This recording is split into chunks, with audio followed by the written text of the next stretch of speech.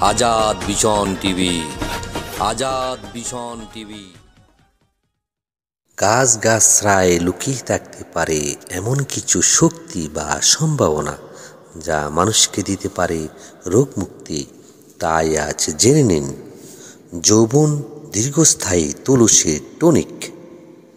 পিপুলের মূল বিশ গ্রাম ও সমান মাত্রায় অশ্বগন্ধা তোপচিনি তাল মাখানা নাগেশ্বর নিয়ে একশো গ্রাম তুলসী পাতার সঙ্গে সব একত্রে পেষণ করে দুইশো পঞ্চাশ গ্রাম মধু মিশিয়ে আধ কিলো চিনি দিয়ে চাটনি তৈরি করে ঠান্ডা করতে হবে।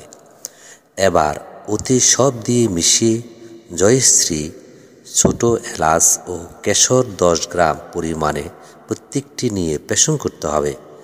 তারপর সব একাত্র মিশিয়ে একটি স্বচ্ছ কাচের পাত্রে রাখতে হবে। এটি হলো তুলসীর টনিক।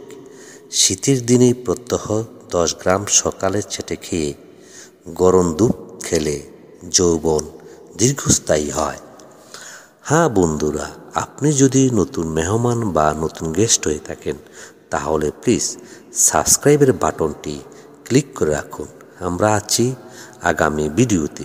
আপনার একটি সাবস্ক্রাইব আমাদের চ্যানেল হতে পারে আগামী দিনের পথ চলা আজাদ ভীষণ টিভি। যেতে পারে দূর, বহুদূর। আপনি ভালো থাকুন, সুস্থ থাকুন, সুন্দর থাকুন।